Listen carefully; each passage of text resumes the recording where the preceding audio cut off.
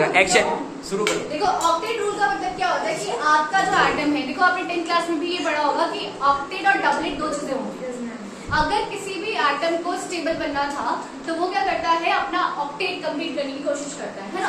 तो octet complete करने के लिए या तो वो क्या करेगा इलेक्ट्रॉन का गेन करेगा, या इलेक्ट्रॉन का क्या करेगा लॉस करेगा। या तो वो शेयरिंग करेगा शेयरिंग भी पढ़ा था या नहीं पढ़ा था तो ऑक्टेट रूल क्या कहता है कि अगर किसी आइटम को क्या बनना है? स्टेबल बनना। क्या बनना है? स्टेबल तो उसके आउटर मोस्ट में कितने इलेक्ट्रॉन होने चाहिए? एक होने चाहिए। उस एक को पूरा करने के लिए वो क्या करेगा? गेन ऑफ़ इलेक्ट्रॉन भी करेगा और लॉस ऑफ़ इलेक्ट्रॉन भी करेगा। ये डिपेंड करता है कंडीशन में पहली चीज़। लेकिन अगर आपका आइटम छोटा है तो ऑक्टेट की जगह पे क्या होता था? डबलेट क्या होता था? डबलेट यानी कि अगर आपका एटम छोटा है तो आप मान लीजिए कि अगर उसके आउटर मोस्ट में कितने इलेक्ट्रॉन है? दो।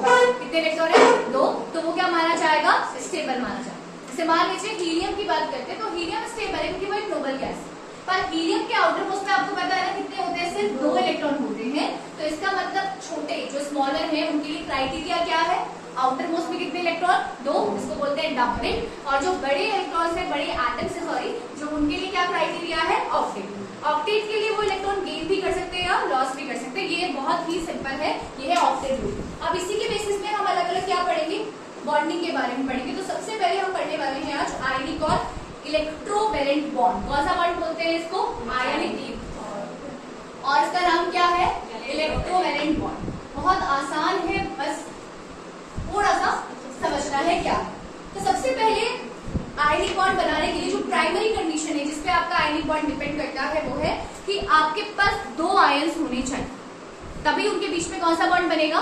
आयनिक बॉन्ड बनेगा। एक बॉन्ड एक ऐसा आयन है पॉजिटिव और एक ऐसा आयन है नेगेटिव तो प्लस और माइनस एक दूसरे को क्या करेंगे? अट्रैक्ट करेंगे। और क्या बनाएगा वो एक नया बॉन्ड बनाएगा जिसका नाम हमने क्या रखना है?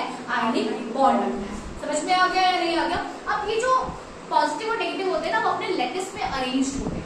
लेटेस्ट मतलब एक तरीके से जिसको हिंदी में जाल जैसे मछली पकड़ते हैं ना मछली तो मछली को पकड़ने के लिए जाल होता है पूरा या नहीं होता प्रॉपर तो वैसे ही किसी भी कंपाउंड में, जैसे एनएसीएल इज़ कंपाउंड उसका एक क्या है? लेटेस है। क्या है? लेटेस अपने लेटेस में वो पर्टिकुलरली अरेंज होता है। क्या होता है अपने लेटेस में? वो अरेंज होता है। अगर मैं एनएसीएल की बात करूँ मैं नॉर्मल एनएसीएल की बात करूँ तो देखो क्या होगा? थ्री में अगर मैं एनएसीएल दिखाऊँ तुम्हें तो कैसा होता है? जैसे ये वाला ये है थ्री में देखना हाँ इस तरीके से। तो अब ये जो जहाँ पे मैंने इन सबको पकड़ा हुआ है सबको होल्ड किया हुआ है यहाँ पे एक एन होगा। क्या होगा यहाँ पे?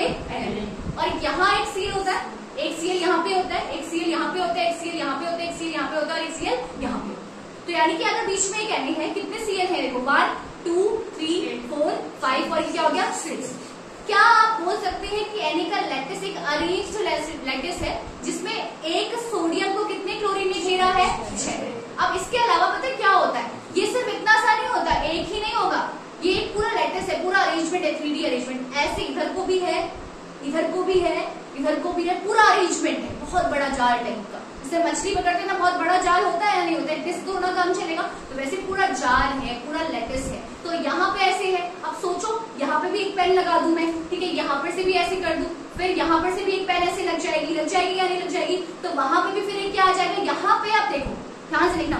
सोडियम के बदल में सोडियम नहीं होगा। ये प्लस है ना? इसके बदल में क्या होगा यहाँ पे? माइनस। और माइनस के चारों तरफ़ क्या होंगे आपके? प्लस तो एक एन प्लस के चारों तरफ़ से छह सीएल होते कैसे होते समझ में आ गया? और एक सीएल को कितने घेरे रखते हैं? छह एन घेरे रखते हैं। तो अरेंजमेंट बिल्कुल फिक्स है यहाँ पे।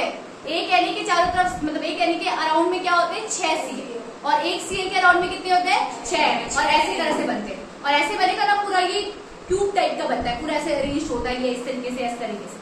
आया समझ में या नहीं आया? लेटेस्ट कॉल्ड इसे क्या बोलते हैं? लेटेस्ट रूल तो ये लैटिस तभी बनता है जब आपके पास एक क्या होगा? पॉजिटिव होगा और एक क्या होगा? क्योंकि प्लस और माइनस एक दूसरे को क्या करेगा?